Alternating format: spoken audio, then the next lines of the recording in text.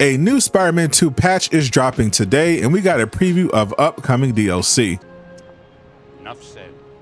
What it do, Durag Nation? I'm back with Super News Bits, bringing you the latest superhero news in less than three minutes because I respect your time if you subscribe. So if you want to be kept up to date with the latest games from Marvel and DC, hit the like button so it will reach more people, but if it wasn't for you, change it to a dislike. We've got a lot of information to go over today from Marvel Spider-Man 2, and fortunately, it's not about weirdos crying about Miles Morales being Spider-Man. The actual game has been out now for over two weeks, and Insomniac has continued to drop new patches in order to further polish the game, which launched with various performance issues. In addition, they confirmed the game will be further updated with fan requested features that were in the previous games like New Game Plus and Mission Select. No confirmation yet on if they will add the feature that will allow you to change the weather or time of day, but if they don't, there is of course a way for you to do it right now, as I explained in a previous video. But today, Insomniac provided a brand new patch to address some specific issues players had, and they made the notes available once again on their blog. Some of the fixes include NPCs that spawn on top of each other on boats, which I personally saw yesterday and is pretty funny. They also address more serious issues like player saves being corrupted. I'm curious if this patch will address the infinite air glitch, which allows you to not only max your character level really fast without doing any missions, but allows you to fly through the undiscovered parts of the map, because Insomniac doesn't always include changes to the game in the notes, like when they patched the Daredevil Easter egg by putting Matt and Foggy's name back on the plaque and removing the eviction notice after fans pointed out the several Daredevil teases in the game, which many believe prove he'll be appearing in future DLC. Creative director Brian Intihar's Daredevil comments have also been a big clue that he's in their future plans. But if you play Spider-Man 2 and finish the Flame side quest, you know about the massive reveal at the end, which is, of course, that Yuri Watanabe has been chasing Cletus Kasady this whole time, and he has a sample of the symbiote that will turn him into Carnage. This is likely going to be where the DLC story takes us next. Speaking of DLC, PlayStation gave us a preview of an upcoming one for Spider-Man 2 that will bring with it new costumes. Spider-Man 2 will be doing a new collaboration with artists similar to the deluxe edition outfits, as well as the Kumo and Brooklyn suits. This new collab is headlined by Kid Super, and the DLC will include these four new suits, which appear to be split between Peter and Miles evenly. The news isn't all good though, as fans have started boycotting future Spider-Man 2 content, as well as the sequel Spider-Man 3. I'll talk about that in the next video on screen.